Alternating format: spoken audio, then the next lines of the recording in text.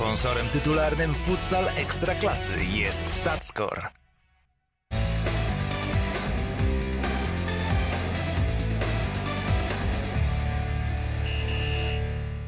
STS Zakłady Bukmacherskie. Oficjalnym bukmacherem futsal ekstraklasy.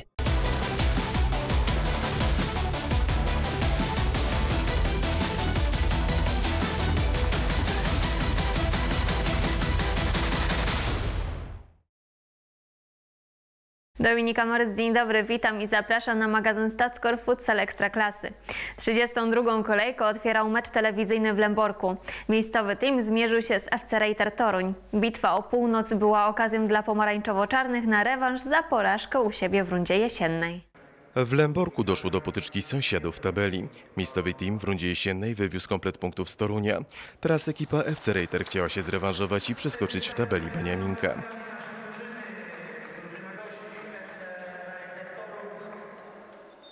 Pierwsze minuty nie były porywające, obydwa zespoły z trudem dochodziły do czystych sytuacji strzeleckich.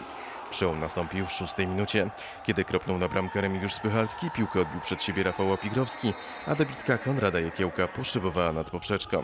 Odpowiedź gospodarzy była piorunująca. Artur Narewski kropnął z powietrza, a futsolówka zatrzepotała w siatce.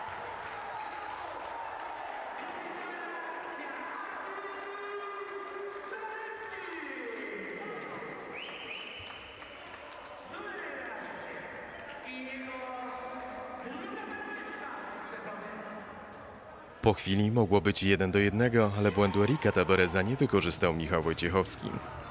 Trener Łukasz Żebrowski po stracie gola postanowił przemówić do swoich graczy. Najważniejsze, najważniejsza jedna rzecz. Nie zgubić rytmu, grać dalej z presją na piłkę, dalej budować w ten sposób, bo jest bardzo dobrze, a bramka w końcu wpadnie.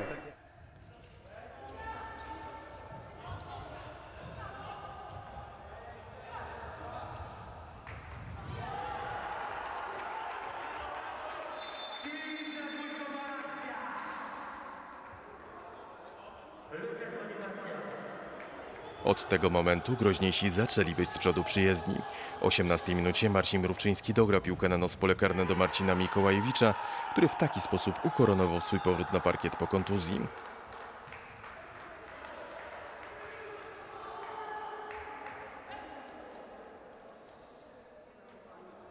Na 1-1 bramkę już strzela zawodnik numer 10 Marcin Mikołajewicz. Druga odsłona doskonale rozpoczęła się dla Torunian. Po składnej akcji futsalówka dotarła do Patryka Szczepaniaka, który dopełnił formalności. –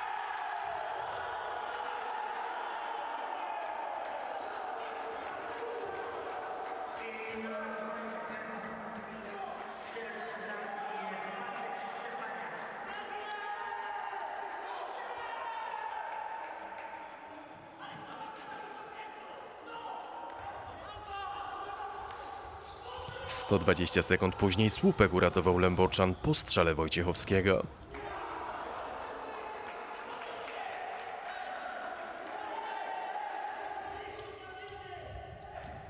To zemściło się po tej akcji. Po rykoszecie piłka dotarła do Narewskiego, który doprowadził do remisu.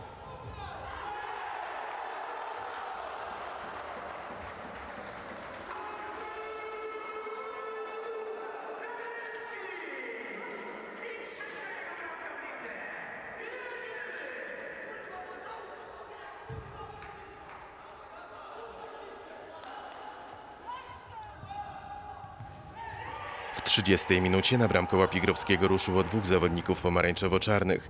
O dziwo górą był lęborski golkiper.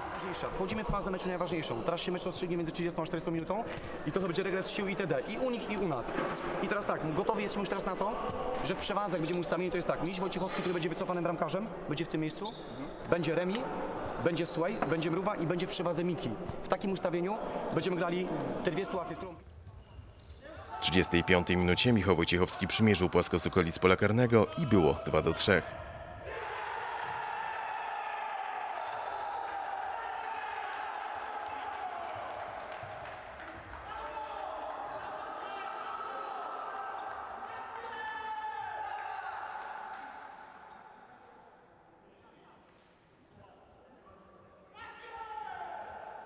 Panowie, za chwileczkę ustawiamy, e, za chwileczkę ustawiamy pięciu, tak?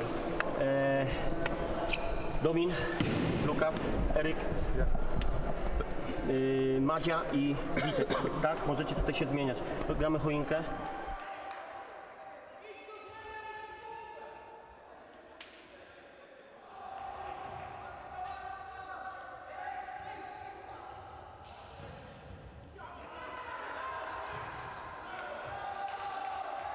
Do samego końca Lęborczanie dążyli do wyrównania. Wycofali nawet bramkarza i stworzyli kilka okazji. Odwrócić losów pojedynku już się jednak nie udało. Kompletoczek odjechał do ogrodu Kopernika.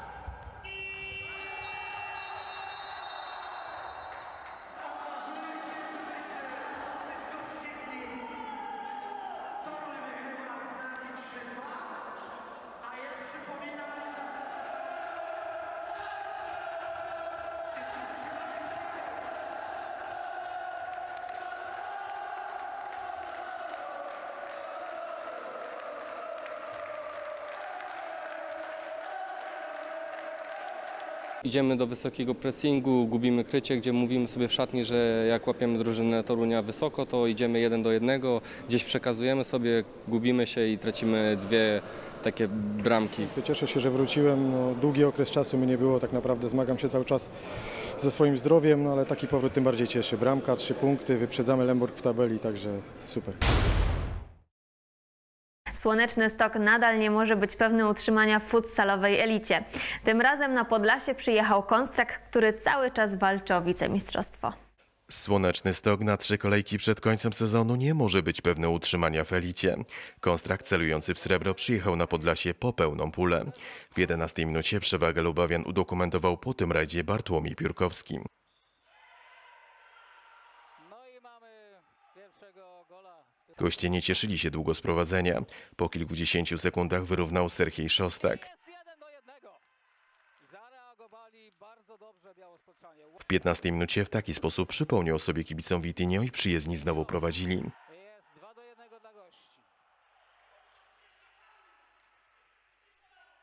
W 16 minucie kolejne trafienie dołożył Pedro Pereira. No i jest trzecie trafienie. Pereira. Kiedy w 18 minucie na 4 do 1 dla konstruktorów trafił Piórkowski, stało się jasne, że mógł znaleźć się pod ścianą. Po przerwie białostoczanie starali się zaatakować, ale skuteczność nie była ich mocną stroną. Lubawianie spokojnie kontrolowali przebieg gry i czekali na okazję do wyprowadzenia kolejnych ciosów. W 34 minucie Tomasz Lutecki zdobył piątego gola dla gości. Miał szansę Serhii Szostak, a teraz jest piąte trafienie. Wreszcie udało się na tą pustą bramkę trafić. W końcówce jeszcze szóstą bramkę dołożył Pedro Silva i kompletoczek pojechał na Warmię i Mazury. Vidinho i jest już bardzo blisko zdobycia wicemistrzostwa. 6 do 1. Konstrakt Lubawa pokonuje. Ciężko gdzieś tam nam było się przeciwstawić. No szkoda takich głupich bramek, bo ze stałych fragmentów, tak, rzut rożny gdzieś tam że ustawiliśmy. Mamy kontrę 3 na 2, jest strata, dostajemy. No i szkoda w przewadze tych sytuacji. Trochę wyklarowaliśmy, że nic nie wpadło, no ale ni- niestety, no czekamy, zostały trzy mecze i tam musimy coś zdobyć. Dobrze weszliśmy w to spotkanie, e, bo za nami kilka właśnie takich wyjazdów do niżej notowanych e, rywali, gdzie tak naprawdę przegraliśmy e, mistrzostwo. Traktujemy takie mecze tak naprawdę pod kątem przyszłego sezonu, żeby nauczyć się pewnie wygrywać. Starcia Red Dragons Akana Orzeł zawsze dostarczają emocji. Nie inaczej było tym razem, a wynik był sprawą otwartą aż do końcowej syreny. Do ciekawej potyczki doszło w Pniewach, gdzie spotkały się dwa zespoły walczące o górną połówkę tabeli. Od początku trwała walka cios za cios, a golkiperzy mieli co robić między słupkami. Macieja Foltyna najczęściej niepokoili Piotr Błaszyk i Mateusz Kostecki. Po drugiej stronie parkietu szalał Kacper Kendra. W 12 minucie kapitalnie przymierzył z dystansu Błaszyk, a golkiper Orła po raz pierwszy musiał wyciągnąć piłkę z siatki.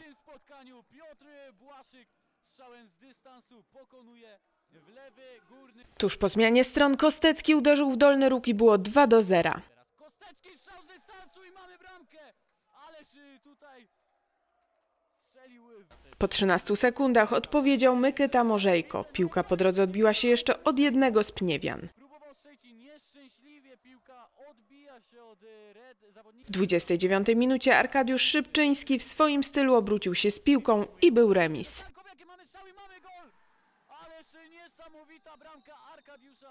W 38 minucie Szybczyński świetnie rozegrał piłkę z Konkolem i było 2 do 3.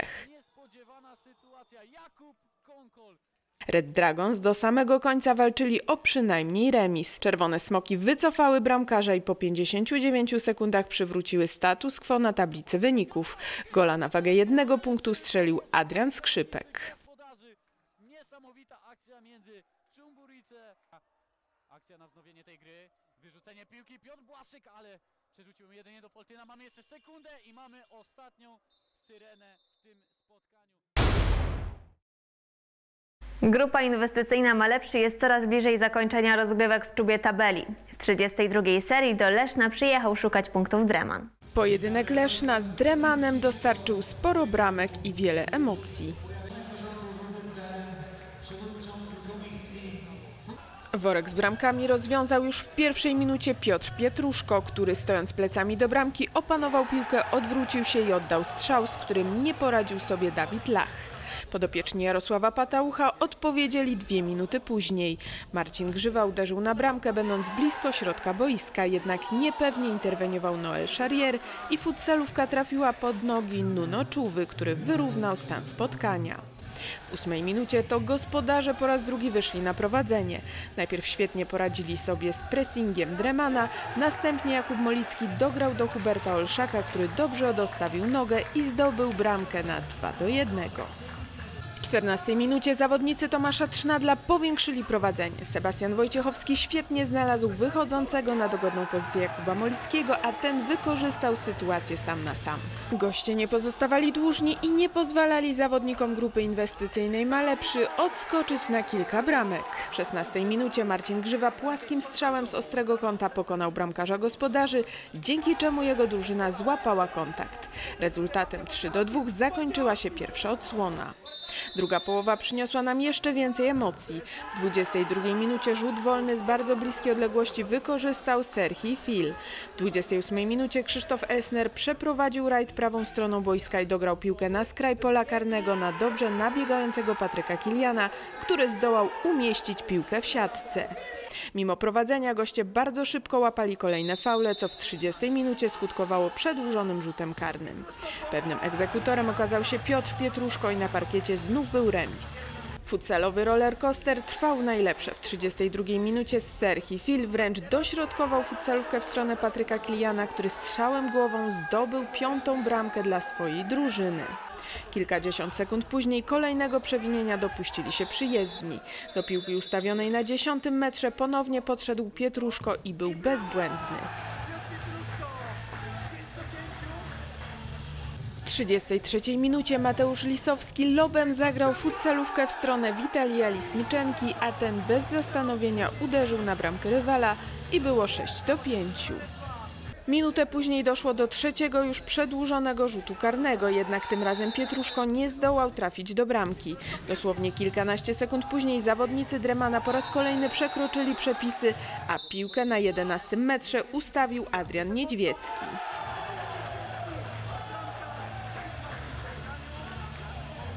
Goście rozpoczęli grę z lotnym bramkarzem. W 36 minucie doszło do nieporozumienia w rozegraniu piłki, którą przejął Witali Lisniczenko i umieścił ją w siatce. Komprachcice nie składały broni. W 38 minucie bez krycia został Serhi Fil i trafił na 8 do 6. Jeszcze w tej samej minucie indywidualną akcję przeprowadził Vinicius Teixeira, który minął zawodnika gospodarzy, dograł piłkę do Ricardo Fernandesa, który zmniejszył rozmiary porażki.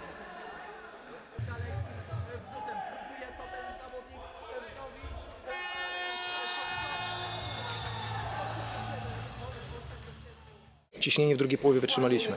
Ja powiedziałem, że przy tylu faulach, tak agresywnej grze, sami się ugotują w własnym sosie i tak też było. E, mm, zaczęły się przedłużone i te przedłużone rzuty karne tak naprawdę dały nam dzisiaj zwycięstwo. Roller coaster, jak to mówią, ale na szczęście na naszą korzyść wygrywamy 8-7.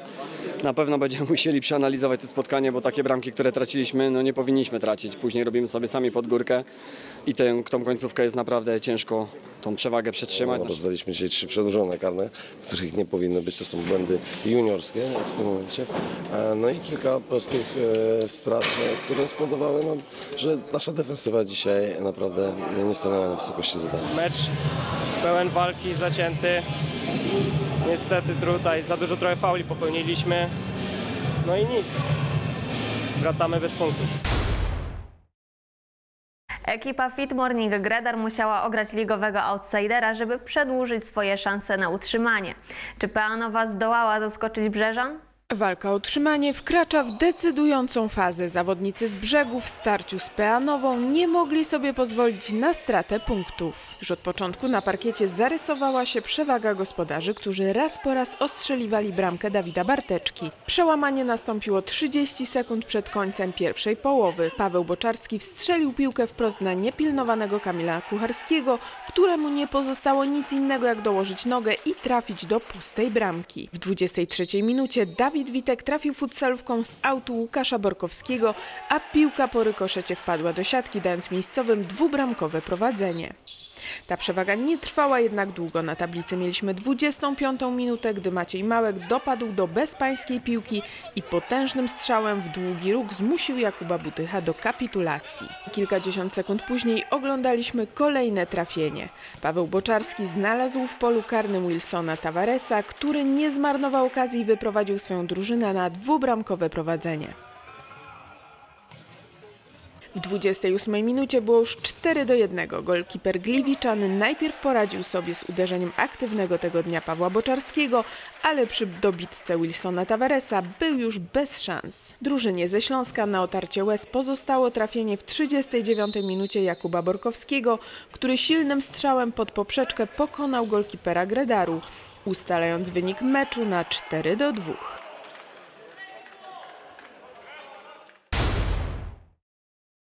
Uniwersytet Warszawski Darkont musiał spiąć się na wyżyny, żeby zatrzymać Piasta. Gliwiczanie nie mogli sobie pozwolić na wpadkę w Wilanowie, żeby nadal liczyć się w walce o srebro. Uniwersytet Warszawski Darką walczy o ligowy byt. Piast bije się z konstraktem o wicemistrzostwo. Spotkanie doskonale rozpoczęło się dla przyjezdnych. W siódmej minucie Gliwiczanie schematycznie rozegrali piłkę z rzutu rożnego. Ta dotarła do Rafała Franca, który z bliska trafił do siatki. Zespół Orlando Duarte poszedł za ciosem. Po tym podaniu Mateusz Mrowiec piętką pokonał bramkarza i było 0 do 2. W 11 minucie goście wyprowadzili morderczą kontrę, którą wzorowo wykończył Mrowiec.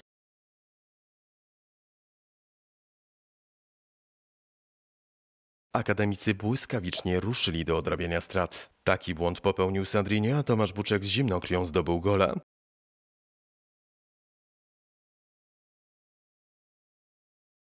W 14 minucie Michał Klaus przejął futsalówkę nie dał szans bramkarzowi. Zapędy miejscowych ostudził jeszcze przed przerwą Dominik Solecki.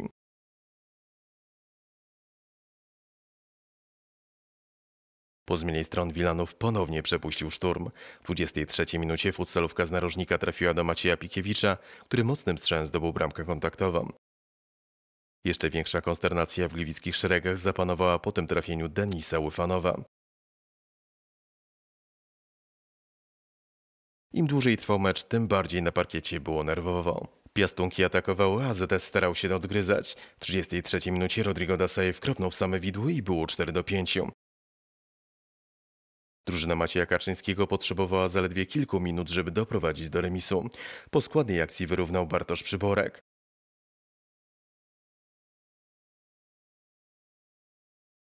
Trener Duarte wziął czas i zagrał z lotnym bramkarzem. Gliwiczanie nacierali, zamknęli rywala w futsalowym zamku, jednak przebić przez szczelny mur się nie zdołali, pomimo tego, że próbowali Solecki i Sandrinho. My, gdyby nie to, że jesteśmy jeszcze młodą drużyną, jeszcze taką niedoświadczoną, że tracimy w pierwszej połowie e, trzy bramki ze stałych fragmentów gry, to, to uważam, że ten mecz byśmy wygrali spokojnie, gdybyśmy dobrze e, pokryli strefy, które ja zawsze uczę i zwracam uwagę. Ale to wszystko Nie, nie dobijamy tego przeciwnika, dajemy dwa prezenty i, i, i później jest nerwówka. Tyle. Mentalnie nie jesteśmy na ten moment przygotowani do tego, żeby, żeby brać na siebie odpowiedzialność za, za wyniki zespołu. Kolejkę kończyło starcie Red Devils Clearex. Chojniczanie, choć o utrzymanie są już prawie spokojni, mają jeszcze coś do udowodnienia sobie oraz kibicom w obecnej kampanii. Grający w klatkę Clearex przyjechał do Chojnic. Ekipa Red Devils nie jest jeszcze pewna utrzymania. Na pierwszą bramkę musieliśmy czekać do siódmej minuty. Chorzewianie szybko rozegrali rzut wolny, a Krzysztof Sali strzałem z dystansu dał gościom prowadzenie.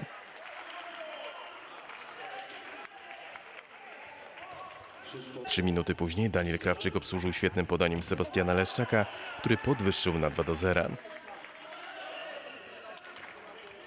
W 14 minucie walkę w powietrzu wygrał Maciej Mizgajski i głową dograł piłkę do Leszczaka, a ten mocnym strzałem z prawej strony boiska zdobył swoją drugą bramkę w tym spotkaniu. Czerwone Diabły odpowiedziały minutę później. Kapitalną, indywidualną akcję przeprowadził Patryk Laskowski, który minął kilku rywali, zagrał na jeden kontakt z Kevinem Kolarem i pokonał bramkarza Klirexu. Na niespełna 4 minuty przed końcem pierwszej odsłony Chojniczanie faulowali bardzo blisko swojej bramki. Do piłki podszedł Leszczak i świetnym podaniem obsłużył Przemysława Dewódzkiego, który skierował futsalówkę do siatki, trafiając na 4 do 1. Zawodnicy Red Devils po rozpoczęciu od bramki wymienili kilka podań, po czym Patryk Laskowski znalazł się w dogodnej sytuacji i zdołał zdobyć bramkę na 4 do 2, wlewając jeszcze nadzieję w serca miejscowych fanów. Drugą połowę z wielkim animuszem rozpoczęli przyjezdni. 6 sekund po pierwszym gwizdku Sebastian Brocki dopadł do bezpańskiej piłki i strzelił piątą bramkę dla gości.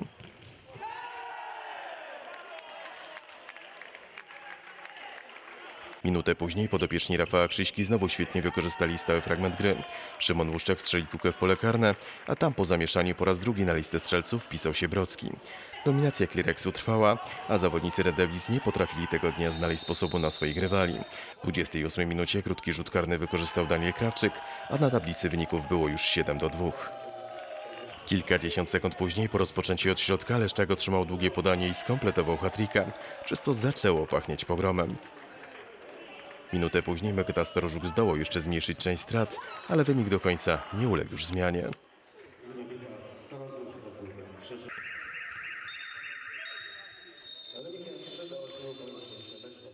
W szatni przede wszystkim powiedziałem, że wszystkie błędy, które mogliśmy popełnić w tym meczu, to już popełniliśmy i nie możemy sobie pozwolić na, na więcej. No, lecz słowa niestety nie zamieniły się w czyny. Każdy z nas miał mnóstwo sytuacji, w których mogliśmy zdobyć bramkę i wydaje mi się, że brakło nam dzisiaj typowo umiejętności piłkarskich, ponieważ no, nie potrafiliśmy tej piłki skierować do bramki rywali. Zawsze nam się to ciężko gra, ale mecz nam się fajnie układał i tak naprawdę my swoją grą za dużo też nie pozwoliliśmy Chojnicom. Później te chwile rozluźnienia w drugiej połowie. Była dzisiaj skuteczność przede wszystkim, bo jak nie ma skuteczności, to, to jak się nie strzela bramek, to się traci i później robi się problem. My dzisiaj te bramki strzelaliśmy i, i pocinaliśmy skrzydła.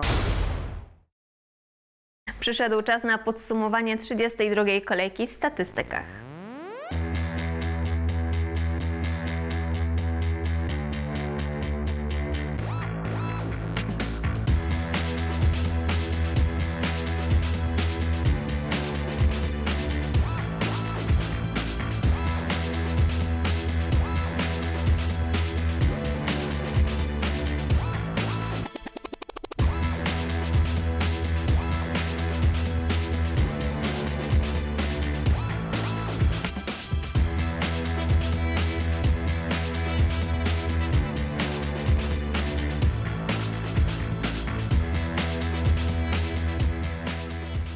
Jak zawsze mamy dla Państwa pięć najładniejszych bramek kolejki.